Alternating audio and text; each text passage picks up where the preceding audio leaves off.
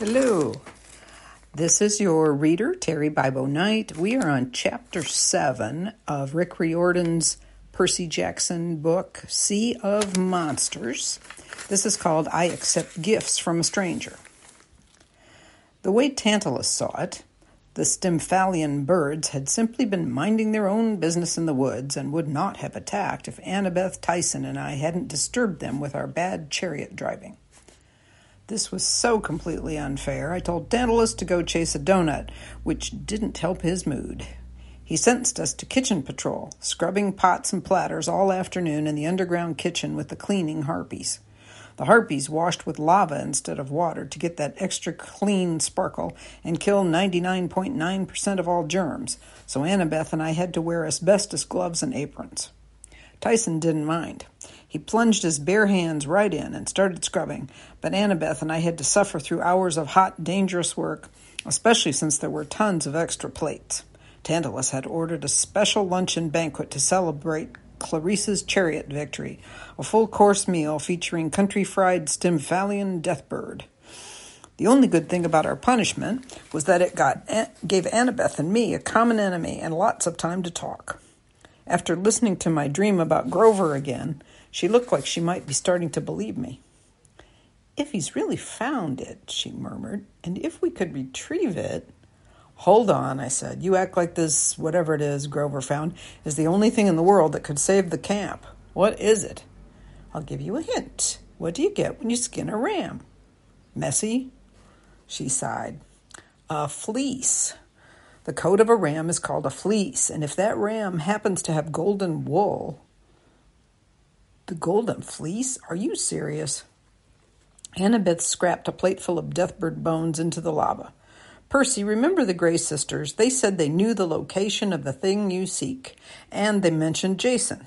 Three thousand years ago, they told him how to find the Golden Fleece. You do know the story of Jason and the Argonauts. Yeah, I said, that old movie with the clay skeletons. Annabeth rolled her eyes. Oh my gods, Percy, you are so hopeless. What? I demanded. Just listen. The real story of the fleece there were these two children of Zeus, Cadmus and Europa, okay?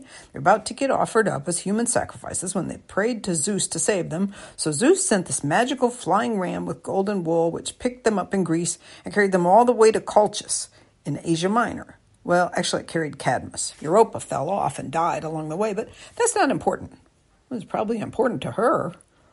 The point is, when Cadmus got to Colchis, he sacrificed the golden ram to the gods and hung the fleece in a tree in the middle of the kingdom. The fleece brought prosperity to the land. Animals stopped getting sick. Plants grew better. Farmers had bumper crops. Plagues never visited. That's why Jason wanted the fleece. It can revitalize any land where it's placed. It cures sickness, strengthens nature, cleans up pollution. It could cure Thalia's tree. Annabeth nodded and it would totally strengthen the borders of Camp Half Blood. But, Percy, the fleece has been missing for centuries. Tons of heroes have searched for it with no luck. But Grover found it, I said. He went looking for Pan, and he found the fleece instead because they both radiate nature magic.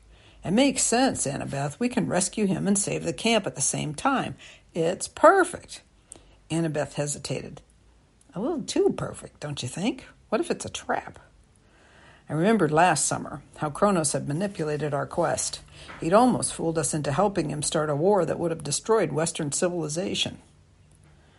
What choice do we have? I asked. Are you going to help me rescue Grover or not?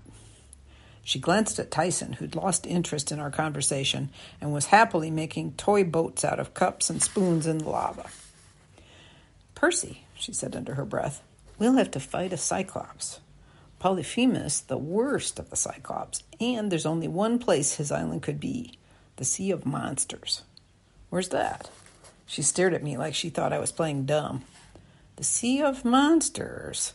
The same sea Odysseus sailed through, and Jason and Aeneas and all the others. You mean the Mediterranean? No, well, yes, but no. Another straight answer, thanks. Look, Percy, the Sea of Monsters is the sea all heroes sail through on their adventures. It used to be in the Mediterranean, yes, but like everything else, it shifts locations as the West center of power shifts. Like Mount Olympus being above the Empire State Building, I said, and Hades being under Los Angeles. Right. But a whole sea full of monsters? How could you hide something like that? Wouldn't the mortals notice weird things happening, like ships getting eaten and stuff? Of course they notice. They don't understand, but they know something is strange about that part of the ocean. The Sea of Monsters is off the east coast of the U.S. now, just northeast of Florida. The mortals even have a name for it. The hmm. Bermuda Triangle? Exactly. I let that sink in. I guess it wasn't stranger than anything else I'd learned since coming to Camp Half Blood. Okay, so at least we know where to look. It's still a huge area, Percy. Searching for one tiny island in monster infested waters. Hey, I'm the son of the sea god. This is my home turf. How hard can it be? Annabeth knit her eyebrows. We'll have to talk to Tantalus, get approval for a quest. He'll say no. Not if we tell him tonight at the campfire in front of everybody. The whole camp will hear. They'll pressure him. He won't be able to refuse. Maybe. A little bit of hope crept into Annabeth's voice. We'd better get these dishes done. Hand me the lava spray gun, would you? That night at the campfire, Apollo's cabin led the sing along. They tried to get everybody's spirits up, but it wasn't easy after that afternoon's bird attack. We all sat around a semicircle of stone steps, singing half heartedly and watching the bonfire blaze while the Apollo guys strummed their guitars and picked their lyres. We did all the standard camp numbers. Down by the Aegean, I am my own great great great great grandpa. This land is Minos' land. The bonfire was enchanted, so the louder you sang, the higher it rose, changing color and heat with the mood of the crowd. On a good night, I'd seen it 20 feet high, bright purple, and so hot the whole front row's marshmallows burst into flames. Tonight, the fire was only five feet high, barely warm, and the flames were the color of lint. Dionysus left early. After suffering through a few songs, he muttered something about how even Pinochle with Chiron had been more exciting than this. Then he gave Tantalus a distasteful look and headed back toward the big house. When the last song was over, Tantalus said, Well, that was lovely. He came forward with a toasted marshmallow on a stick and tried to pluck it off, real casual like. But before he could touch it, the marshmallow flew off the stick. Tantalus made a wild grab, but the marshmallow committed suicide, diving into the flames. Tantalus turned back toward us, smiling coldly.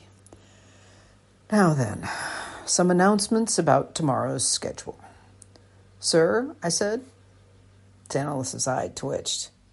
Our kitchen boy has something to say. Some of the Ares campers snickered, but I wasn't going to let anybody embarrass me into silence. I stood and looked at Annabeth. Thank the gods she stood up with me. I said, We have an idea to save the camp.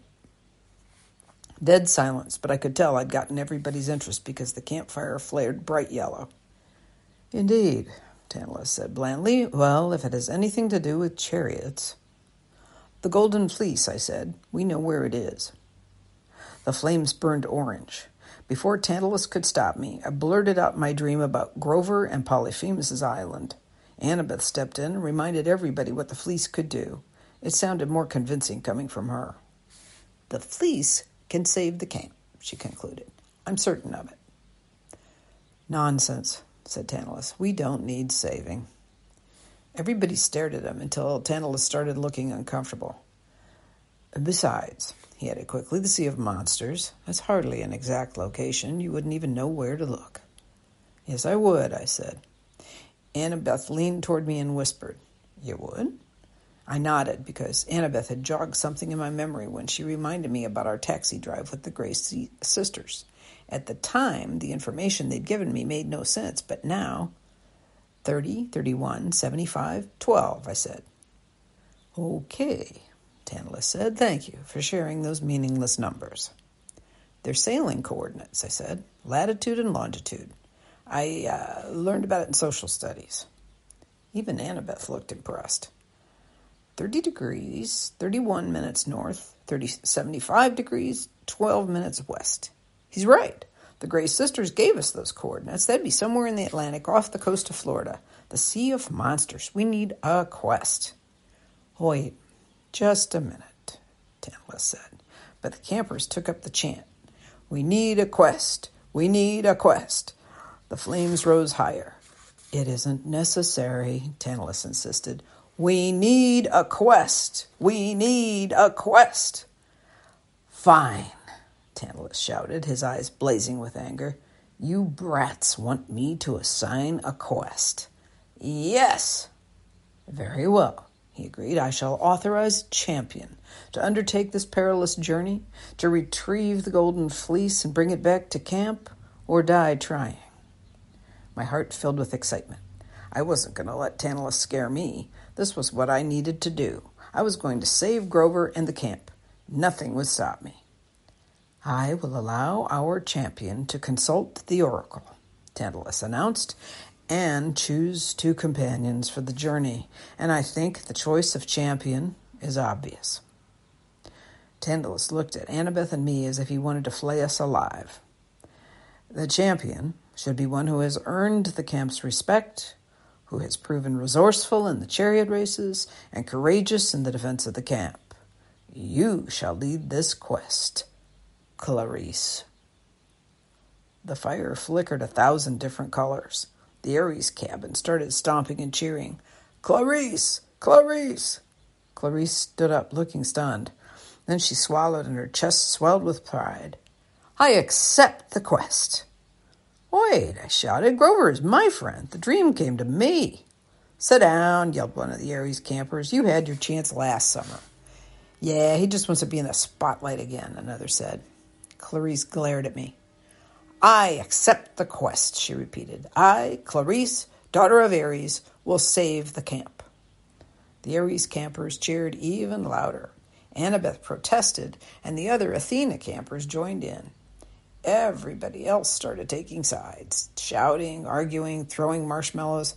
I thought it was going to turn into a full fledged s'mores war until Tantalus shouted, Silence, you brats! His tone stunned even me. Sit down, he ordered, and I will tell you a ghost story. I didn't know what he was up to, but we all moved reluctantly back to our seats. The evil aura radiating from Tantalus was as strong as any monster I'd ever faced. Once upon a time, there was a mortal king who was beloved of the gods. Tantalus put his hand on his chest, and I got the feeling he was talking about himself. This king, he said, was even allowed to feast on Mount Olympus. But when he tried to take some ambrosia and nectar back to Earth to figure out the recipe, just one little doggy bag, mind you, the gods punished him. They banned him from their halls forever. His own people mocked him. His children scolded him. And oh, yes, campers, he had horrible children. Children just like you. He pointed a crooked finger at several people in the audience, including me. Do you know what he did to his ungrateful children? Tantalus asked softly. Do you know how he paid back the gods for their cruel punishment. He invited the Olympians to a feast at his palace just to show there were no hard feelings. No one noticed that his children were missing. And when he served the gods dinner, my dear campers, can you guess what was in the stew? No one dared answer. The firelight glowed dark blue, reflecting evilly on Tantalus's crooked face. Oh, the gods punished him in the afterlife, Tantalus, Tantalus croaked. They, they did indeed. But he'd had his moment of satisfaction, hadn't he? His children never again spoke back to him or questioned his authority, and do you know what? Rumor has it the king's spirit now dwells at this very camp, waiting for a chance to take revenge on ungrateful, rebellious children. And so, are there any more complaints? Before we send Clarisse off on her quest. Silence. Tantalus nodded at Clarisse. The oracle, my dear. Go on. She shifted uncomfortably, like even she didn't want glory at the price of being Tantalus's pet. Sir, go, he snarled. She bowed awkwardly and hurried off toward the big house. What about you, Percy Jackson? Tantalus asked. No comments from our dishwasher. I didn't say anything. I wasn't going to give him the satisfaction of punishing me again. Good, Tantalus said, and let me remind everyone no one leaves this camp without my permission. Anyone who tries, well, if they survive the attempt, they will be expelled forever. But it won't come to that. The Harpies will be enforcing curfew from now on, and they are always hungry. Good night, my dear campers. Sleep well. With a wave of Tantalus's hand, the fire was extinguished, and the campers trailed off toward their cabins in the dark. I couldn't explain things to Tyson. He knew I was sad. He knew I wanted to go on a trip, and Tantalus wouldn't let me. You will go anyway? he asked. I don't know. I admitted it would be hard, very hard. I will help. No, I, I couldn't ask you to do that again. Big guy is too dangerous. Tyson looked down at the pieces of metal he was assembling in his lap springs, gears, tiny wires. Beckendorf had given him some tools and spare parts, and now Tyson spent every night tinkering, though I wasn't sure how his huge hands could handle such delicate little pieces. What are you building? I asked. Tyson didn't answer. Instead, he made a whimpering sound in the back of his throat. Annabeth doesn't like Cyclops. You don't want me along? Oh, that's not it, I said half heartedly. Annabeth likes you, really. He had tears in the corners of his eyes. I remembered that Grover, like all satyrs, could read human emotions, and wondered if Cyclops had the same ability. Tyson folded up his tinkering project in an oilcloth. He lay down on his bunk bed and hugged the bundle like a teddy bear. When he turned toward the wall, I could see the weird scars on his back, like somebody had plowed over him with a tractor. I wondered for the millionth time how he'd gotten hurt. Daddy always cared for me, he sniffled. Now, I think he was mean to have a Cyclops boy. I should not have been born. Don't talk that way. Poseidon claimed you, didn't he? So he must care about you a lot. My voice trailed off as I thought about all those years Tyson had lived on the streets of New York in a cardboard refrigerator box. How could Tyson think Poseidon had cared for him? What kind of dad let that happen to his kid, even if his kid was a monster? Tyson, camp will be a good home for you. The others will get used to you, I promise. Tyson sighed. I waited for him to say something, and then I realized he was already asleep. I lay back on my bed and tried to close my eyes, but I just couldn't. I was afraid I might have another dream about Grover. If the empathy link was real, if something had happened to Grover, would I ever wake up? The full moon, moon shone through my window. The sound of the surf rumbled in the distance. I could smell the warm scent of the strawberry fields and hear the laughter of the dryads as they chased owls through the forest. But something felt wrong about the night the sickness of Thalia's tree spreading across the valley. Could Clarisse save Half Blood Hill? I thought the odds were better of me getting a Best Camper award from Tantalus. I got out of bed and pulled on some clothes. I grabbed a beach blanket and a six pack of Coke from under my bunk. The Cokes were against the rules. No outside snacks or drinks were allowed, but if you talked to the right guy in Hermes' cabin and paid him a few golden drachma, he could smuggle in almost anything from the nearest convenience store. Sneaking out after curfew was against the rules, too. If I got caught, I'd either get in big trouble or be eaten by the harpies. But I wanted to see the ocean. I always felt better there. My thoughts were clearer. I left the cabin and headed for the beach. I spread my blanket near the surf and popped open a Coke. For some reason, sugar and caffeine always calmed down my, hyper, my hyperactive brain. I tried to decide what to do to save the camp, but nothing came to me. I wished Poseidon would talk to me, give me some advice or something. The sky was clear and starry. I was checking out the constellations Annabeth had taught me Sagittarius, Hercules, Corona Borealis, when somebody said, Beautiful, aren't they? I almost spewed soda. Standing right next to me was a guy in nylon running shorts and a New York City Marathon t shirt. He was slim and fit, with salt and pepper hair and a sly smile. He looked kind of familiar, but I couldn't figure out why. My first thought was that he must have been taking a midnight jog down the beach and strayed inside the camp borders. That wasn't supposed to happen. Regular mortals couldn't enter the valley. But maybe with the tree's magic weakening, he'd managed to slip in in the middle of the night? And there was nothing around except farmland and state preserves. Where would this guy have jogged from? May I join you? he asked. I haven't sat down in ages. Now, I know, a strange guy in the middle of the night, common sense. I was supposed to run away, yell for help, etc. But the guy acted so calm about the whole thing that I found it hard to be afraid. I said, Uh, sure. He smiled. Your hospitality does you credit. Oh, and Coca Cola, may I? He sat at the other end of the blanket, popped a soda, and took a drink. Ah, that hits the spot. Peace and quiet at. A cell phone went off in his pocket. The jogger sighed. He pulled out his phone, and my eyes got big because it glowed with a bluish light. When he extended the antenna, two creatures began writhing around it green snakes, no bigger than earthworms. The jogger didn't seem to notice. He checked his LCD display and cursed. I gotta take this, just a sec. Then into the phone. Hello? He listened. The many snakes writhed up and down the antenna right next to his ear. Yeah, the jogger said. Listen, I know, but I don't care if he is chained to a rock with vultures pecking at his lever. If he doesn't have a tracking number, we can't locate his package. A gift to humankind? Great. You know how many of those we deliver. Oh, never mind. Listen, just refer him to Eris in customer service. I gotta go. He hung up. Sorry. The overnight express business is just booming. Now, as I was saying, you have snakes on your phone. What? Oh, they don't bite. Say hello, George and Martha. Hello, George and Martha, a raspy male voice said inside my head. Don't be sarcastic, said a female voice.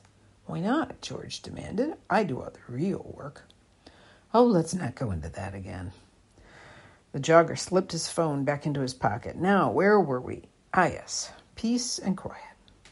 He crossed his ankles and stared up at the stars. Been a long time since I've gotten to relax.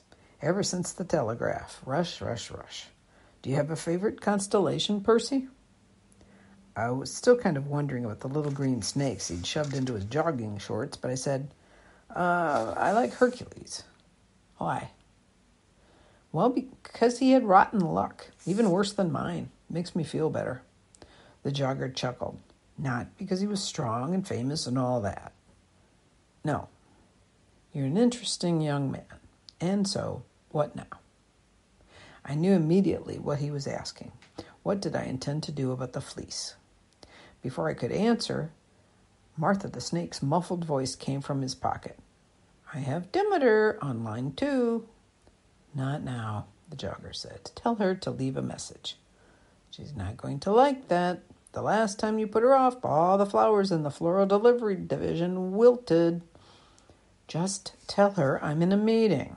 The jogger rolled his eyes. Sorry again, Percy. You were saying. Um, who are you exactly?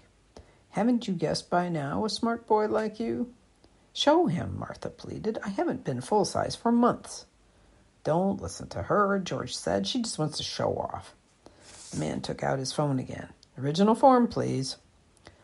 The phone glowed a brilliant blue. It stretched into a three foot long wooden staff with dove wings sprouting out the top. George and Martha, now full size green snakes, coiled together around the middle. It was a caduceus, the symbol of Cabin 11. My throat tightened. I realized who the jogger reminded me of with his elfish features the mischievous twinkle in his eyes. You're Luke's father, I said. Hermes. The god pursed his lips. He stuck his caduceus in the sand like an umbrella pole. Luke's father. Normally, that's not the first way people introduce me. God of thieves, yes. God of messengers and travelers, if they wish to be kind. God of thieves works, George said. Oh, don't mind George. Martha flicked her tongue at me. He's just bitter because Hermes likes me best. He does not. He does do. Behave, you two, Hermes warned, or I'll turn you back into a cell phone and have you vibrate. Now, Percy, you still haven't answered my question. What do you intend to do about the quest? I don't have permission to go. No, indeed. Will that stop you? I want to go. I have to save Grover. Hermes smiled. I knew a boy once, younger than you by far, a mere baby, really. Here we go again, George said, always talking about himself. Quiet, Martha snapped. Do you want to get on set on vibrate? Hermes ignored them. One night, when this boy's mother wasn't watching, he sneaked out of their cave and stole some cattle that belonged to Apollo. Did he get blasted into tiny pieces? I asked. Mm, no. Actually, everything turned out quite well. To make up for his theft, the boy gave Apollo an instrument he'd invented, a lyre. Apollo was so enchanted with the music he forgot all about being angry. So, what's the moral? The moral? Hermes asked. Goodness, you act like it's a fable. It's a true story. Does truth have a moral? Um, how about this? Stealing is not always bad. I don't think my mom would like that moral. Rats are delicious, suggested George. What does that have to do with the story? Martha demanded. Nothing, George said, but I'm hungry. I've got it, Hermes said. Young people don't always do what they're told, but if they can pull it off and do something wonderful, sometimes they escape punishment. How's that? You're saying I should go anyway, I said, even without permission. Hermes' eyes twinkled. Martha, may I have the first package, please? Martha opened her mouth and kept opening it until it was as wide as my arm. She belched out a stainless steel canister, an old fashioned lunchbox thermos with a black plastic top. The sides of the thermos were enameled with red and yellow ancient Greek scenes a hero killing a lion, a hero lifting up Cerberus, the three headed dog. That's Hercules, I said, but how? Never question a gift, Hermes chided. This is a collector's item from Hercules Busts Heads, the first season. Hercules Busts Heads? Great show, Hermes sighed. Back before Hephaestus TV was all reality programming.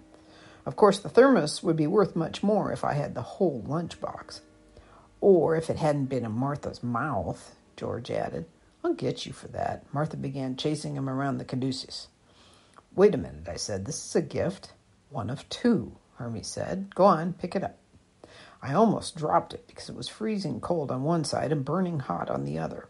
The weird thing was, when I turned the thermos, the side facing the ocean, north, was always the cold side. It's a compass, I said. Hermes looked surprised. Very clever. I never thought of that. But its intended use is a bit more dramatic.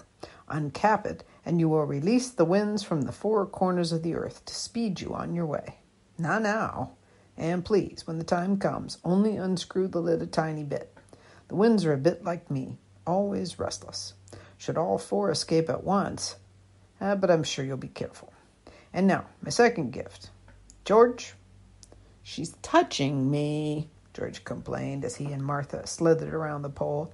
She's always touching you, Hermes said. You're intertwined, and if you don't stop that, you'll get knotted again. The snake stopped wrestling. George unhinged his jaw and coughed up a little plastic bottle filled with chewable vitamins. You're kidding. I said, Are those minotaur shaped? Hermes picked up the bottle and rattled it. The lemon ones, yes. The grape ones are furies, I think. Or are they hydras? At any rate, these are potent. Don't take one unless you really, really need it. Well, how will I know if I really, really need it? You'll know, believe me. Nine essential vitamins, minerals, amino acids, oh, and everything you need to feel yourself again. He tossed me the bottle. Ah, thanks, I said. But Lord Hermes, why are you helping me? He gave me a melancholy smile. Perhaps because I hope that you can save many people on this quest, Percy, not just your friend Grover. I stared at him. You don't mean Luke? Hermes didn't answer. Look, I said, Lord Hermes, I mean thanks and everything, but you might as well take back your gifts. Luke can't be saved. Even if I could find him, he told me he wanted to tear down Olympus stone by stone. He betrayed everyone he knew. He he hates you especially. Hermes gazed up at the stars. My dear young cousin, if there's one thing I've learned over the eons, it's that you can't give up on your family, no matter how tempting they make it. It doesn't matter if they hate you or embarrass you or simply don't appreciate your genius for inventing the internet. You invented the internet? It's my idea, Martha said. Rats are delicious, George said.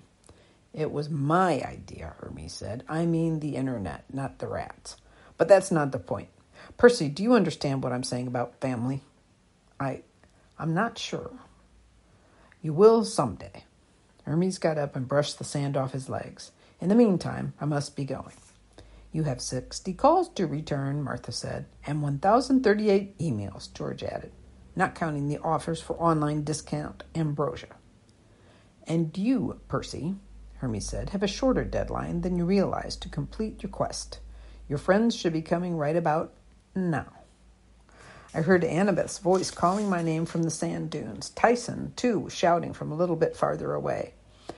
I hope I packed well for you, Hermes said. I do have some experience with travel. He snapped his fingers, and three yellow duffel bags appeared at my feet. Waterproof, of course.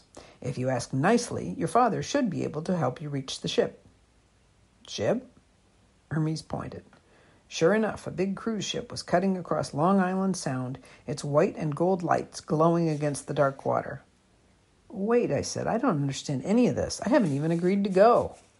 I'd make up your mind in the next five minutes if I were you, Hermes advised. That's when the harpies will come to eat you. Now, good night, cousin, and dare I say it, may the gods go with you. He opened his hand, and the caduceus flew into it. Good luck, Martha told me. Bring me back a rat, George said. The caduceus changed into a cell phone, and Hermes slipped it into his pocket. He jogged off down the beach. Twenty paces away, he shimmered and vanished, leaving me alone with a thermos, a bottle of chewable vitamins, and five minutes to make an impossible decision. And that is the end of chapter seven.